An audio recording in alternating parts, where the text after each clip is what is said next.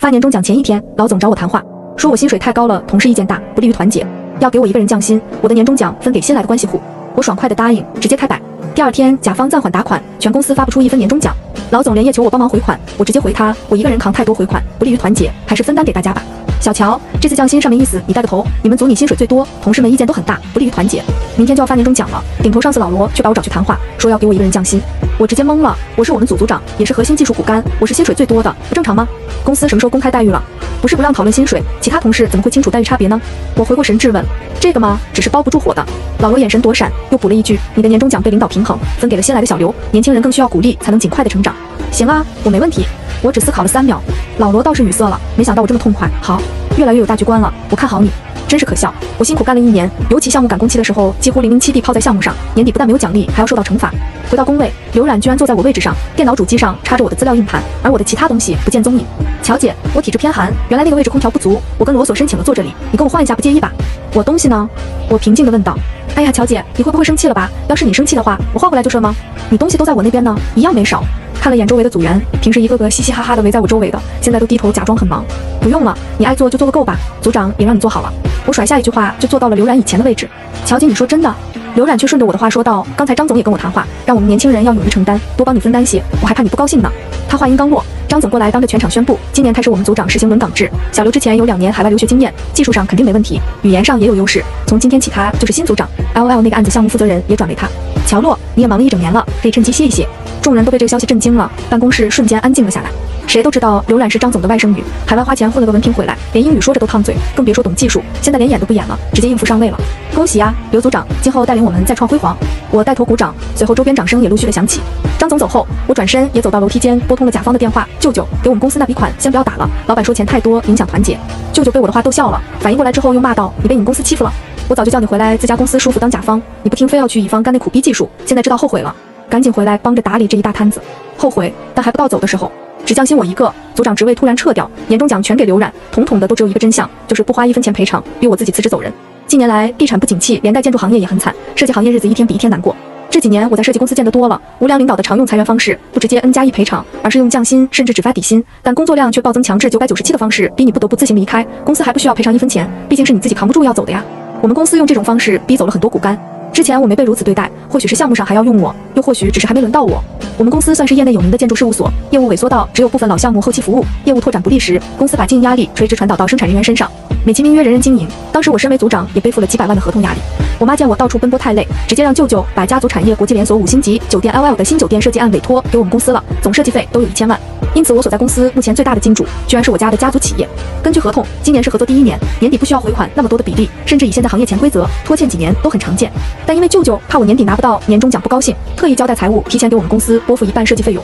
我平时很低调，只知道埋头设计和跑工地，他们并不了解我和金主公司的关系。在确定明天甲方会打款之后，生怕身为项目负责人的我分到大头奖金，火速的把我撤职。可惜了，这次他们想裁掉的正好是公司的金主大动脉。就算要裁员，给我合法的赔偿，我也不是不能接受。但现在用这样肮脏的手段。我一个工作八年的老员工绝不可能接受。我决定原地开摆，顺便欣赏下他们是怎么庆祝年终奖的。正好快到中午了，我先悠闲的去楼下商场吃了个饭，回来在车里睡了个午觉。以前为了赶项目进度，中午我都是随便的在食堂对付一口，再接着争分夺秒的干活。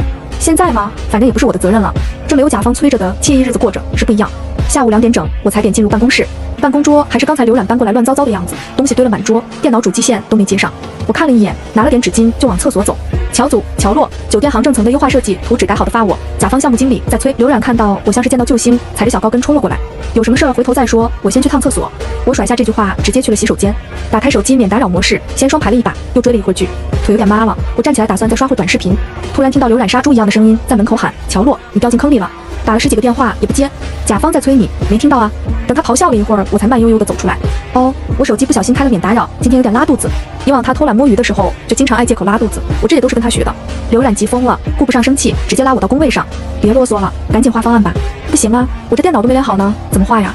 你去我电脑上画，小丁你帮他电脑连好。不行啊，别人的电脑我用不惯。刘冉无语，发现我就是故意的，直接火了。不想画就别画了，小丁你把这个图又画了，我还不信这个公司没有他就转不动了。小丁支支吾吾说自己之前画的方案被毙了几次了。刘冉又问了周围一圈，大家都表示这个项目经理专业出身，挑剔又不好糊弄，除了我没人能让他满意。刘冉刚来我们部门没多久，还不太了解情况，不就是个方案优化吗？跟我当初申请国外作品集比起来简单多了。我自己来。刘冉推开小丁，自己坐到了电脑前。是啊，就刘组长这种海归人才亲自出马，那肯定得惊艳甲方。我边说边拿出手机打开了消消乐。刘冉鼻孔哼了一声，打开了开个软件。五分钟后，他问了小丁一句：“复制图形点哪个按钮？”我刚喝了口茶，差点喷出来。他清了下嗓子，不自然道：“我们在国外都是用苹果系统，这种老土的系统用不惯。”行，你开心就好，最好让甲方也跟你换一样的电脑系统。刘冉折腾了半天，似乎怎么都不得劲，拉着小丁坐到一旁，他口头指挥，小丁操作修改，两人吭哧吭哧的搞了一个下午都没改好。刘冉已经娇滴滴的给甲方那个项目经理打了好几个电话道歉。五点二十九分，我踩着点站在机前，时间一到，三十分马上刷脸消失在办公室。没想到车子刚开出停车场，张总的电话就打过来了。乔洛，别人都在忙着改图，你去哪儿了？甲方催了一下午，你聋了还是瞎了？马上回来加班，今晚十二点前必须交图。张总在手机里咆哮。啊，甲方没找我呀。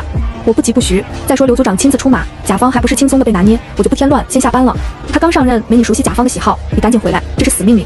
年终奖还想不想要了？年终奖，我的不是都分给刘冉了吗？正好让他帮我把班也加了。行，我看你是一分钱别想要了。刘总恨恨地挂断电话，我随手将手机开成勿扰，和闺蜜美美的约饭去了。不用加班的生活还是挺美好的。为了工作，已经记不清多久没和朋友好好的聚聚了。这一年来，几乎每天都九十点才下班，通宵更是经常发生。公司高层觉得我们之所以业绩不好，是因为工作量不饱和。可业务量急剧萎缩也不是员工的问题，经营部门不去拓展市场，反过来怪生产部门工作量不足，商业逻辑鬼才。第二天九点，我准时的上班，打卡打算先慢慢的吃个早餐外卖，坚决不占用非工作时间完成个人私事。走进办公室，同组同事居然全睡在工位上。一看见我，小丁像看到了救星般的冲了过来。乔姐，你可来了！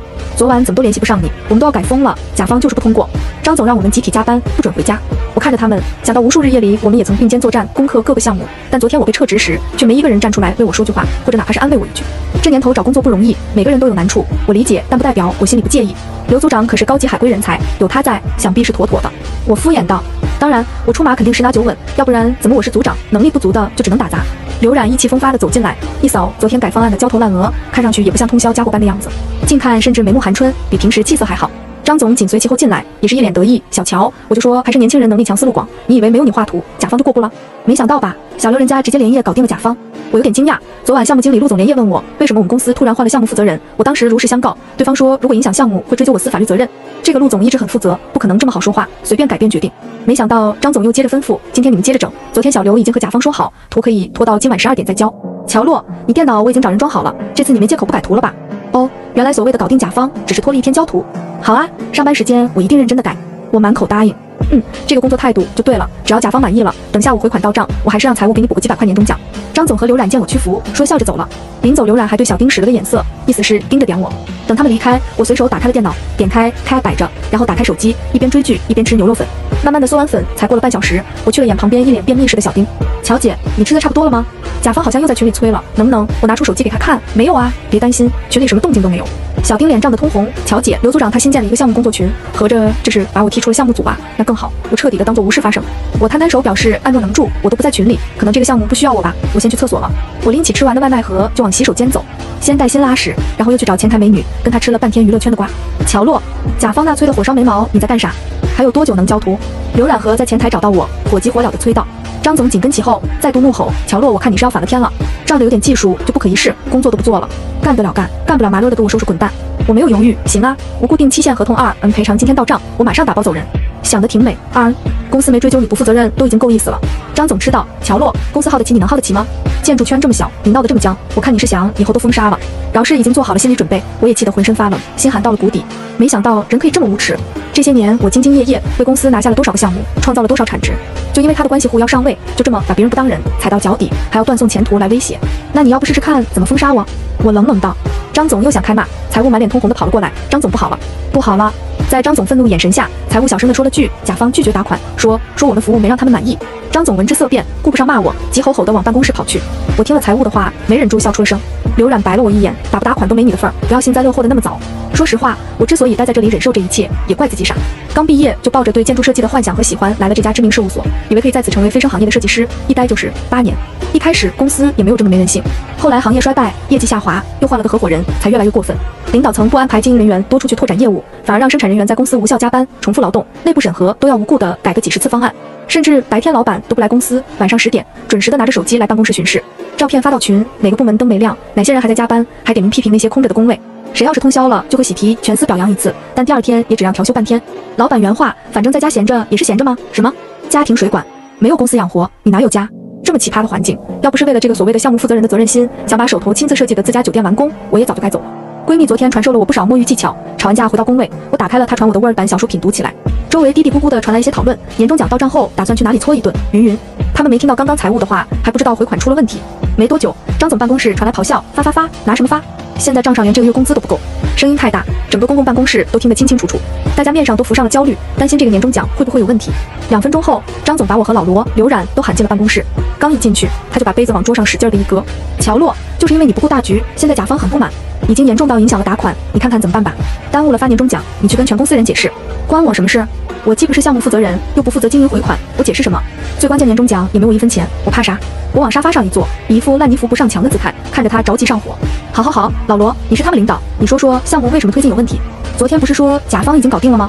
张总，我也没办法呀。昨晚我和小刘陪项目副总好吃好喝，KTV 一条龙，好不容易把他哄开心了，把交付时间推迟了。谁知道乔洛他一直不肯改方案，人家上面还有别的领导，耽误进度肯定得发火呀。老罗把责任都推给了我，丝毫不提现在这个项目负责人刘冉的问题。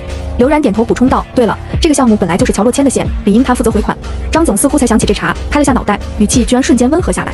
小乔啊，刚刚我火气太大了，也是被甲方催的，你别介意。这个 L L 项目既然当初是你拉来的，那你去找找中间人说说，先把进度款付了吧。他苦口婆心，放心，回了款，你的那部分奖励公司还是会考虑的。看着他那满脸褶子，我恶心透了，笑着回道：我一个人扛太多回款，不利于团结，还是分担给大家吧。张总和老罗脸色彻底的黑成锅底。说完我就走了，不管里面怎么砸东西，骂人发疯。后面就见张总带着老罗和几个经营部的领导一起杀去了甲方。舅舅中午给我发信息邀功，说他们去拜访，都让他们没上得了楼。活生生的在大堂等了一个下午，最后连他的面都没见到，别说要钱了。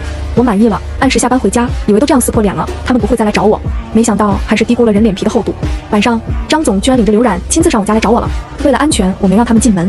乔洛，对不起，就当是张总求你了，你去帮着回回款吧。大过年的，或者你出面找找中间人说说，好歹让我们见见总裁，我当面去求他。张总舔着脸说完，又示意刘冉给我道歉。对不起，乔。不咸不淡的说了句，不好意思啊，张总，我只是个普通员工而已，真的扛不起那么大的责任，您另请高明吧。我说着就要关门，等你把这件事解决，我就恢复你的组长职位。哦，还有这个项目还是继续给你负责。张总拦着我，关门陪笑道，开出了自以为诱惑的条件。他真以为我那么在乎这破职位，上赶着要去负责这些破事儿？不必了，这个福气还是留给您外甥女吧。等过了这个坎儿，我怕又把我下了，上上下下的也麻烦。我说完，直接关上了门。不出所料，门外又传来骂街声。乔洛，你明天就给我卷铺盖走人。瞧瞧，高高在上久了的人，根本演不了一会儿。这次我要是被他说动去回了款，钱到账之后马上又会被卸磨杀驴。第二天我依旧踩点上班，没想到怎么也打不进。乔洛，你被裁了，这是通知书和你的东西，带上它滚！再出现在这个办公室就视为盗窃商业机密。刘然指着门口的一个箱子道：“不过你跪下来求我，或许我可以考虑帮你求求情留下来。”我拿出手机，打开摄像头。好，你再说一遍。我凭什么再说一遍？想去仲裁你就去仲裁个够啊！我看你半点背景没有，怎么赢得了公司？我把这段也录下来了，不是很懂。他这种不懂法的迷之自信是从哪里来的？乔洛，你还是好好的签了协议吧。眼下一分钱没回到，公司也不可能有钱赔你，赖着不走也影响你过年。再说好聚好散以后，在圈子里也好混，抬头不见低头见的。人事大姐拉着我劝，希望我签了自愿离职协议。现在这个环境，外面工作多难找，我看你是不知道。要是被调时，公司再随便说几句，我看你就喝一辈子西北风去吧。刘冉笑道：“对你来说，倒确实是很难。”我没跟他多废话，直接拒绝了签字，抱着我的箱子出门就去了仲裁。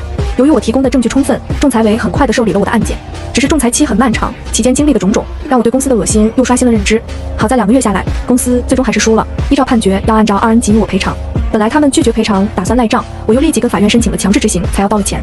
据说由于回款困难，这笔赔偿金还是支取了一部分员工代发工资垫付的。由于年终奖迟迟的不发，员工都已经怨声载道。现在再加上工资迟发和零零七的加班新规，整个公司戾气都很重，分分钟就要爆发激烈矛盾的节奏。到了这种地步，我已经彻底的和原公司结下了仇。甚至听说张总真的利用建筑圈人脉，到处散布我的坏话，说我偷奸耍滑、背信弃义，几乎到了无恶不作的地步，名声严重受损。估计他以为这样，我至少在本地设计圈再也找不到工作了。没想到我拿到劳动合同解除书那天，就入职了自家企业，并且主动的申请负责这个新酒店项目。上任当天，我就吩咐项目经理把项目组成员全部都叫来项目办开会。为了方便管理，项目办设在工地旁的临时板房里。刘冉不顾工地的沙石泥地，踩着细高跟，穿着性感的紧身裙就来了，依旧跟着亲自为他到场护驾的张总。我今天直接从家里开车过来，比其他同事都来得早。他俩估计也没想到会在板房外遇到戴着安全帽的我。哟，乔大建筑师啊，建筑设计圈混不下去了，这是去了施工单位当资料员，还是来我们工地搬砖了？张总恨得我牙痒痒，皮笑肉不笑道。刘冉也笑得一脸得意，不过他厚厚的遮瑕还是没遮不住黑眼圈的憔悴。想必这两个月这草包没少熬夜，毕竟以他看建筑图纸都费劲的能力，要带这么大的国际项目团队很是困难。从公司前台那听说，张总给他重金请了个外援团队，以私活的形式外包了图纸的设计修改。这种做法市场上也经常有层层转包，但在我们项目合同里是明显的违规的。我得知后按兵不动，心里却有了计划，一边着手调查，一边陪他们先玩玩，好好的出口气。见我不回答，以为我羞愧了，刘冉接他话道：“好好的求求我们，我们还可以在甲方面前替你们施工方美言几句，或者给你们漏点油水。无良设计单位可以通过施工图纸的春秋画法，给施工单位偷工减料的空间。但我没想到，在甲方地盘上，他是真的一点不知道避讳。我像看傻子一样的看着他，许是被我的眼光刺伤了。他没好气道：闲杂人等赶紧离开吧，这里是甲方和设计方开会的地方，不是你们泥腿子来的场合，拉低档次。我寻思，我只不过为了来工地方便，穿了运动装而已，他们凭什么认定了我就干了施工？我有那么接地气吗？退一万步说，我有那么大的力气？我没理他们，刘冉却拦在门口不让我进。此时，其他参会同事也到了，为首的是项目经理陆琪，身后跟着浩浩荡荡一群人。张总换上笑脸迎了上去，陆总您辛苦了，这大冷天的。陆琪看了眼门口的我，还没开口，就听刘冉又冲我凶道：“乔洛，你这人怎么那么没眼力见？没见甲方领导来了，还不赶紧让开？”是啊，这施工单位的也不赶紧来管管，你们员工在这儿瞎添乱。张总冲施工方喊道。陆琪和他周围的同事都目瞪口呆地看着他们，不知道这两人哪个神经搭错了。乔总，我们刚刚顺便去工地视察了一圈，发现了一些问题，等会儿会上讨论吧。陆琪没管他，径直走向我。我笑笑带头往会议室走去，直接坐在了会议桌 C 位。张总和刘然两人此刻已经呆若木鸡，站在门口，嘴巴张得老大，完全无法相信眼前情形。陆琪皱眉，设计方不打算进来开会吗？怎么一直门外站着？别耽误时间了，乔总一会儿还有会。被点醒的张总和刘冉赶紧走进来，找了角落的空位坐下。从两人像吃了屎一样的眼神和苍白的脸色可以看出，他们是真的被吓到了。我甚至看到张总偷偷地掐了一把自己胳膊，疼得龇牙咧嘴。会议一开始，陆琪就正式地介绍我一遍，说我是总部派来主管本项目的集团副总，今后项目的一切重要事宜，包括进度款，都要经过我批示才可以。听见角落的吸气声，我瞟了过去，张总脸色又苍白了几个度，额头也冒着汗。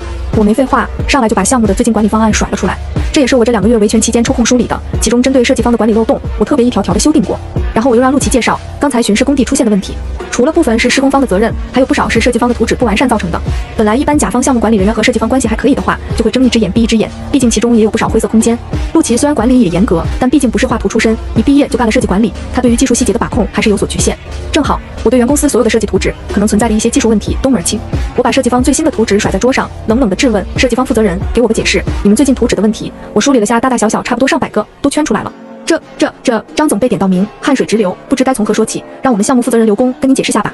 刘冉被他推起来，也是支支吾吾的，半天说不出一句话，连带着一旁的监理人员都开始不安。也是，他们图纸都是外包给私活团队的，人家又不签图，可以不用负责，随意的乱画交差，反而是图纸上要必须要签名的这些设计师、总工、注册建筑师等要签字负责。以前我就质疑过，他们胆子太大了，不懂也不看图就敢乱签字。现在张总看着图纸上审核那栏签着自己的印章，想推掉责任都没法。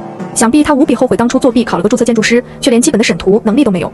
他本来就是挤掉原来合伙人那个真正有才华的建筑师才上的位，还经常喷人家太理想化，不知道变通。可是他自己却连基本的设计法律法规都不懂，靠着偷奸耍滑搞关系上位。看够了笑话，我一锤定音，既然项目负责人都无法解释，那就认定是设计方的问题了。设计方承担主要责任，造成的返工全部费用从设计费里扣，做好记录。这一扣，估计没有几十万也下不来。张总啊的一声叫了出来，我看过去，张总还有高见，没没没有。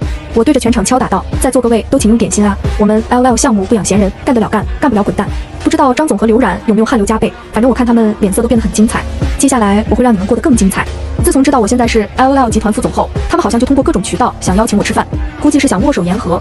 可是我当过一次傻子了，不会再当第二次，没给过他们一点机会。因为我特意的盯着那些质量问题的整改，设计方最近都被陆琪集中召集在工地现场驻扎办公，动态改图。尤其是这两个月的图纸，几乎是重新画了十几遍。我是最熟悉这个项目全盘，同时又是最清楚设计方可能出现什么问题的人。每次他们交上来图纸，自以为可以了，我却总能挑出问题来再打回去改，并且每一次我都要刘冉这个项目负责人亲自来给我解释。刘冉每天被迫住在工地的宿舍，出入也没有了以前的精致，熬夜过多让他浑浑噩噩，肉眼可见的心力交瘁，估计他都后悔死了。早知道还不如就在公司当一个花瓶关系户，非要逞强当什么技术负责人，吃这份普通人吃的苦。不懂技术可以做管理吗？可以，但是做技术管理不懂技术就好笑。看着他每天唯唯诺诺，又不敢当着我的面甩脸色和抱怨，我心里就爽。小刘啊，你这方案怎么回事？第二十版了，你就这水平？不是说海归吗？你们团队要是再改不出满意的方案，我就换人了。现在外面找工作多难啊！我第 n 次对着他的图纸挑剔。本来很多设计方案主观性就很强，要是诚心的想挑，可以挑一辈子。更何况他本就不懂太深的技术，随便问问就露怯。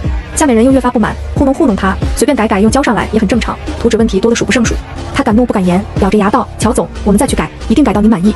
那我们的回款可以考虑下吗？回款？耽误的工期我都还没跟你们算账，等你们把方案改过了再说吧。”第二天他终于没来报道，听说请了长病假，暂时把这个项目甩给了其他同事代理负责，顺便还去总部把我告了，说我因为私人矛盾故意挑刺。接到舅舅报信的电话，我都笑了。趁着集团分公司十年庆，我让人给作为合作伙伴的设计方也发了几份邀请函。庆典那天，果然张总和刘冉又一起来了。刘组长，这病是好了，好了就赶紧回来项目呀。我穿着礼服，举着红酒杯走过去，他像是听了鬼故事一样，当场脸就白了几度。张总见到我也有点慌，脸上笑着，眼神却躲闪，估计在猜测到底对我的投诉有没有用。主持人隆重的介绍集团总裁骆总登场，也就是我舅舅。全场都注视着他，并鼓掌致意。舅舅代表总部致辞后，请来宾自便。随后他拨开人群，特意的走到了我面前，邀请我跳第一支舞。张总他们眼神一直就没离开过我舅舅，可看到他邀请我跳舞的时候，他们眼神都变了，以为猜到了我年纪轻轻上位的真相。不过我懒得再演戏，直接喊了句舅舅，舅舅也答应的很大声，笑着拉我去舞池。我回过头对张总和刘冉说了一句不好意思，L L 集团姓骆。对了，我叫什么来着？下次投诉我前，麻烦打听下我名字怎么来的好吗？看到他们见了鬼一样眼神，我觉得这场游戏也差不多该结束了。再和这种奇葩纠缠就不礼貌了。三天后，张总公司接到了我们集团发去的律师函，上面清楚地罗列了从刘冉接手这个项目以来造成的所有图纸错漏问题，以及因此给项目带来的巨大返工费用清单，并附上了张总给我方项目副总行贿换取中间好处，导致新建楼产生严重安全隐患的证据。鉴他们已经严重的违反了当初甲乙双方签订的合同，层层外包，并出现重大技术问题，无法再继续合作，由此给项目造成了较大的工期延误，甲方按合同约定索赔天价违约金。法院判决后，原公司最终因为天价赔偿原地倒闭，天天都堵满了要账的人，高管们都不敢出门，更别说找其他工作。张总作为法人坐了牢，刘冉也第一时间跑了。不过听说他再去任何设计公司找工作，人家都不要他了，知道他是个干倒亲戚大公司的牛人。我常想，如果我只是一个普通打工族，面对严重不公正待遇时该多绝望。但我想人都年轻过，单纯过，傻傻的付出过的时候，不管怎么样，早些醒悟了就好。挥别错的，才能和对的人生相逢。